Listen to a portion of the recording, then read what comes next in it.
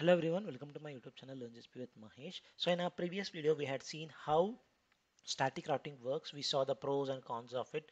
Pro was it was very easy to set up. The con was like uh, whenever you have a new network to be added you need to have some kind of a methodology to add that new CIDR range so that the communication can be established. So that was one of the pain points. So usually in a smaller network and a stable network, static routing is used. So now what we'll do is in the next uh, video or in this current video, what we'll do is uh, we'll try to do the same setup, but we will use something called as dynamic routing. So the previous video which we had seen was a static routing in this one we will go, we are going to do uh, dynamic routing. The additional cloud component which we need to include in this setup is something called as cloud router. So you need to add it. And since we are doing something like this both the sides GCP what we will be doing is we will be having a cloud router on one side and on the other side also we'll be having the cloud router. So with that we'll go get into the actual demo. So it's the same setup which I had used in the previous uh, demonstration. So we have VM1 uh, VM project 1 and VM project 2 they are in two different projects and definitely in two different VPC and I have SSH into those both machines. And we know if we ping each the other machine. So from project 1 if we try to ping the uh, virtual machine in project 2 it's not going to be reachable because these are two different VPC so that is the thing. So to resolve this uh, in the previous video we had used uh, static routing and we were able to achieve it. Now we will do the same demo but using dynamic routing. So as I mentioned for dynamic routing to work the most important component is cloud router which behind the scene uses BGP border gateway protocol. So we need to set that first. So what you can do is under hybrid connectivity if you go you will see because cloud router is primarily used with VPNs so that is the reason it is grouped under hybrid connectivity. You can see cloud router click on it and create click on create cloud router and you should be able to see a screen like this. I have already pre-populated the screen with all the values since in project 1 we have Mumbai VPC so I have given a uh, router name as Mumbai CR. CR stands for cloud router that is the acronym which I'm using in this video. Select the VPC, select the region and the most important thing when you're creating a cloud router is the autonomous system number. What is this Google autonomous system number? So this is the identity of your cloud router. Using this identity only the BGP will be able to advertise all the networks all the subnetworks. So what we will do is it gives you a tooltip you can use any number in this range. For simplicity reason let me copy the first number and put that the put that as the cloud uh, Google ASN number for this router. Click on create. Similarly we'll do the same thing for the other side of it which is the US Central. I have already pre-populated it. So what we will do now is we'll do plus one so that it's easy for us to remember while doing the demonstration. So that's it. So we have created two cloud routers. So if you go back to the image or uh, to this image, this part is completed now. The only part now which is pending is setting up the VPN gateway and the VPN tunnel. So let's go ahead and create it. Let's just verify whether the, uh, the router is created. Here also it is created. Even in project 2 it is created. All good. Now moving on to this screen where we used in the previous demo also the static routing it is the same thing. You create a VPN gateway well in advance so you create it. So I have already pre-populated it something uh, something which we did uh, in the previous demo also. So that's the reason I'm going it bit quick here. So next create the tunnel.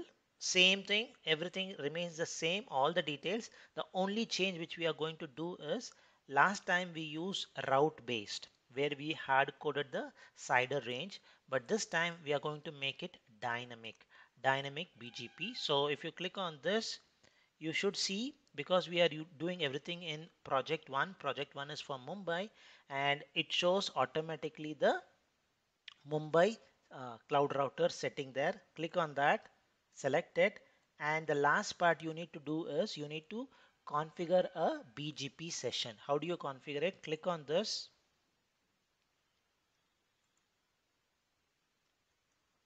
click on this BGP session and it will pop up a screen where you need to configure the details. Give a name which is very intuitive something like BGP Mumbai to US Central and it is asking for the peer ASN number. If you don't remember what is a peer ASN number the peer here is the US uh, US uh, cloud router. Just go to your cloud router you should be able to get this uh, ASN number. Come back to the screen and you can add in the details here and you can leave the optional fields. And the most important thing here is when it comes to BGP it always uses something called as link local IP address and it always has to be in 169 address space. That's the most important thing. And by default they are giving a suggestion. Let's follow that suggestion what they are giving. So this is our Mumbai's BGP IP address and the BGP of the peer we'll just make it as plus one. That's it and when we are doing the US central uh, BGP session we'll swap the setting that's it so click on save and continue and that's it. We are all done. The only change when we did uh, with the dynamic routing is selected the router and configured the BGP session. That's the stuff. So click on done and click create.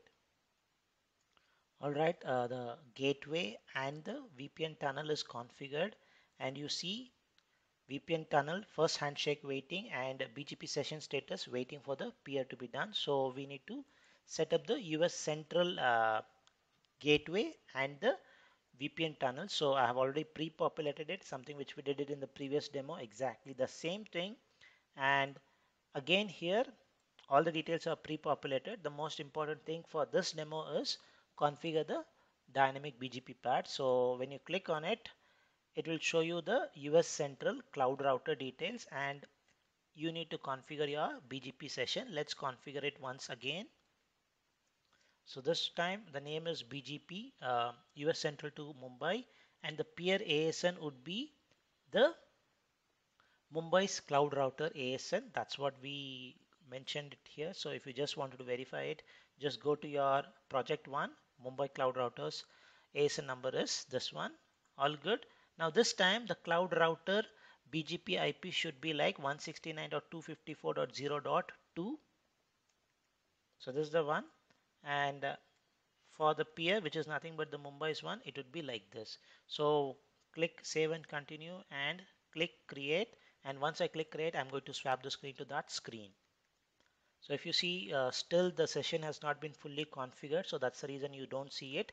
So let's wait for it to come up Alright, the session has been configured and that's the reason you see the ping is now working. And you may see what is a what a big deal Mahesh. This is something which we have done multiple times using uh, network uh, VPC network peering and also using cloud VPN static routing. And now we are doing with dynamic routing. What is a big deal? I would say till now there's no big deal. It is something exactly the same thing which we have done so far. But the next thing which I'm going to show is the most important thing or the unique feature of dynamic routing. That is when you add a new network. Let's see that part now. The part which we are going to do now is uh, add a new subnetwork something which we did in the previous demo also and which was not able to communicate because the router uh, the route was not added. But when it comes to dynamic routing the most important thing which you need to observe is before I add a new net subnetwork when you go to the network you will already see something called as dynamic routing. If you just click on this this is the CIDR range of your Mumbai's uh, Mumbai's VPC uh, CIDR range. That's already added so you see this. And similarly if you go to your uh, project one which is uh, the Mumbai's one you will see the CIDR range of your US Central. That is your 172 address space. That's what you see.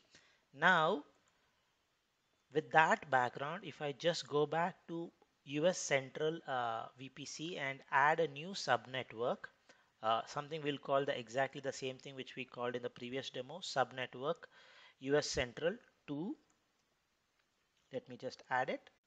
Alright let's try to create the second subnetwork which we did something very similar in our static routing also and we saw the problem of that. So when you add a new uh, range you need to manually update your routes. That's what we saw but when we are using dynamic routing, the moment you add this in your Mumbai routes, it will be automatically added.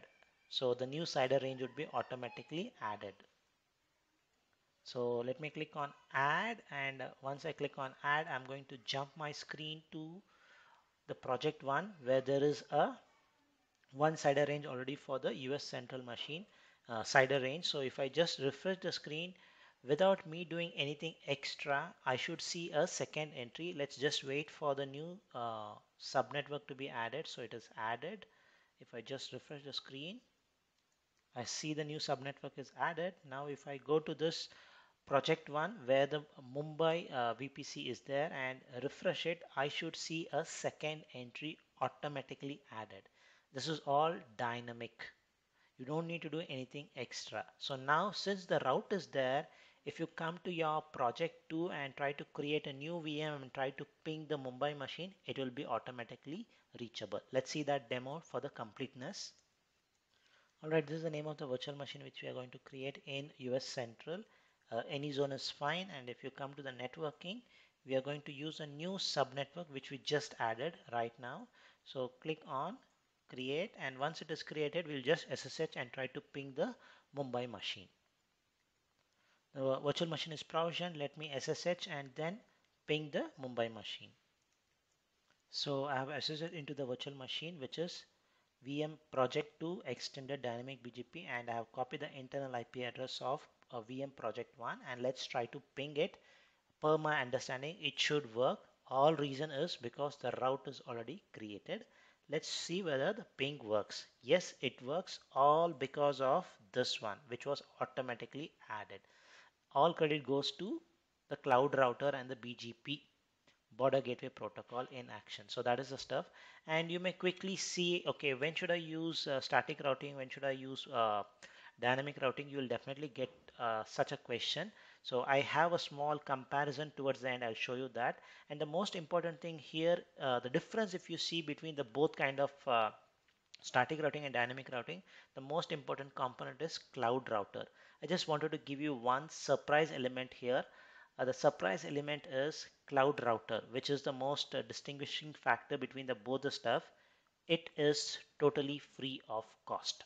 So that's the beauty of GCP I would say. Uh, now given this information which one would you prefer in your organization?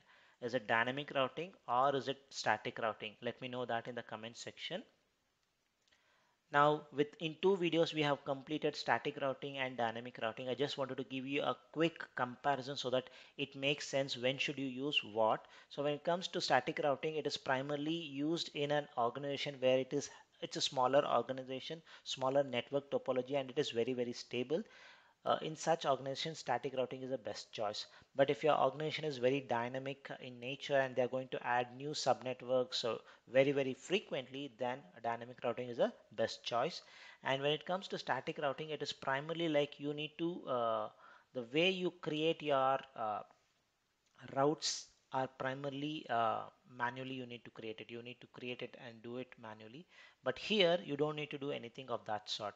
If you have the cloud router set up the moment you add a new subnetwork it will be automatically advertised using BGP border gateway protocol.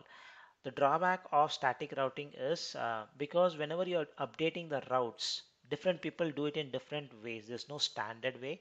Uh, the one which I showed you was a very uh, elegant way where because there was no downtime I manually added the route. But there are different people who do it in different way. And sometimes if you're not well versed with the networking concepts you may bring down the entire tunnel itself. So when you do it tear it wear and tear at that time there could be a downtime. So but in BGP there's no downtime which is really really good. And uh, the last part as I mentioned there's no standard way people do it in different different options how they want to create update the static routes so so that's a video which I wanted to do primarily on dynamic routing. So we had seen how static routing works. We understood the pros and cons. Now we understood the pros and cons of dynamic routing. Hope the video is helpful. Thank you for watching.